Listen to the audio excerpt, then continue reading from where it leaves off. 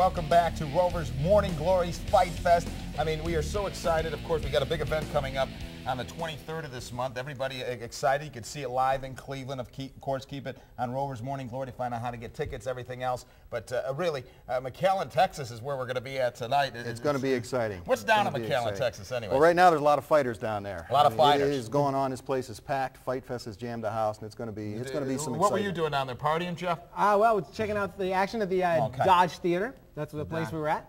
Very nice, the Dodge Theater. Okay, let's go back there now. Our first fight of the night, a guy named Durbin going up against Marrs. All right, a pair of 170 pounders going in this one. Ryan Durbin taking on Clayton Marrs. The ring girls already in the ring. Of course, you know, this is a big part of uh, Fight Fest. They will be uh, here in Cleveland on the uh, 23rd of this month. Absolutely, absolutely. There'll be some Midwestern girls up there helping out with the fight.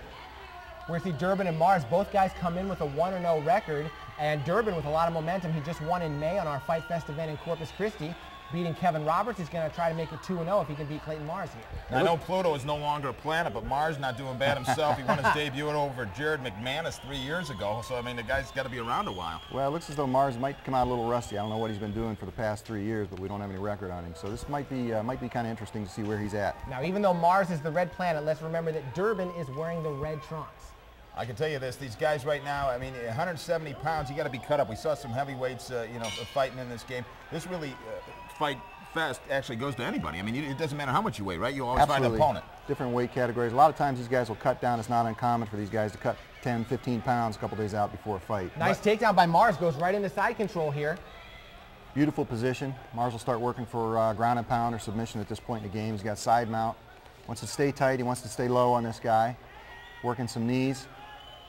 I'm watching here. I mean, it, tell us exactly. I mean, when they're doing the moves, I know in different wrestling moves, there's a thing called the fireman. Is there like a favorite move for Fight Fest ah, It depends. You know, you get a guy in the ground likes jiu-jitsu. A lot of these guys like armbar. Some of them like key locks. Some of them like uh, chokes. It just depends upon the uh, the gym and the fighter himself. Well, generally, Chuck, when you're on the ground like this, you want to be able to be either on top of your man in a mount or like this in a side mount to be able to rain down those punches. So if you can, that's the kind of control that you want that Marrs has right here. So Marrs, Marrs is on offense, and uh, Marrs has got top mount. It yeah, could be a bad day for, for Durbin right now. Durbin is in a bad position. He's got to get him down. He's got to get him off of him and come up and out of that. My goodness, he's just taking Marrs all is going to rain some bullets on him. Right Durbin's now. turning. He's got a rear choke. Oh, he's got hooks. his back. This uh, this should pretty much be, be done. He's got a rear choke sunk on him. Got one hook in that I see possibly. You think he'll get out of the first round? I don't believe so. Not looking at this right now. Durbin's in bad position. Marrs has got to bring that left foot around and get double hooks in on him.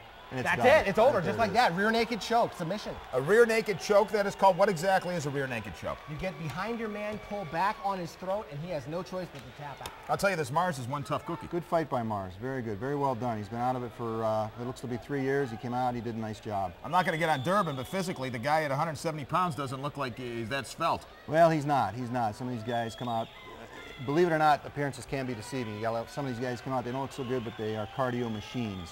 Well, it looks like he's, he's still a tough guy, believe me. I when I say the guy's in Svelte, I'm just being a smart aleck. To, to get in there, you know, even to get in there, he's a tough guy. There's no question about it. Got a lot of heart even to get inside that cage. I mean, that is a big deal. Clayton Marrs got to feel good about himself, doesn't he, Jeff? That's right. It was a tough fight. Big win. It is uh, 2-0 now. 2-0 for, uh, boy, Clayton Marrs. I mean, that was a dominant, dominant fight. Dominant position from the word go. Good fight for Marrs. Now, I noticed something in this last fight. There was a lot of bleeding.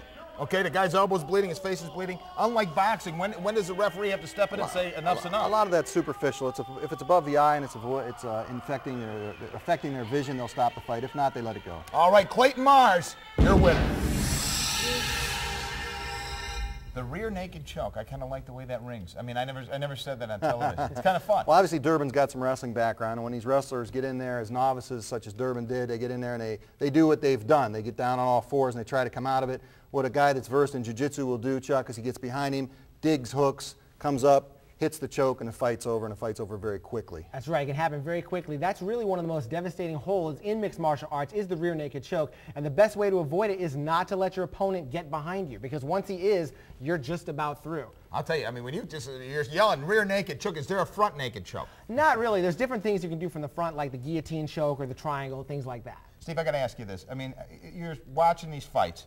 If this guy doesn't tap out, let's say, if somebody's doing that chokehold on him, if, if this it choke goes in, until you're done, or does the referee come in before if, you suffocate? If this guy doesn't tap out, this guy will go out. He's got two choices. He taps out or he gets put out unconscious. And it just knocks you out cold. Absolutely. He's cutting off the blood to both sides of the neck. He's going out or he's going to tap. I mean, it's, it's amazing. I mean, but, but you say the referees are always watching this thing. That's right. Usually a fighter will tap out, but uh, if the, he's going unconscious, the referee will have to step in to protect the uh, fighter. All right, we got some big fights coming up here. I, I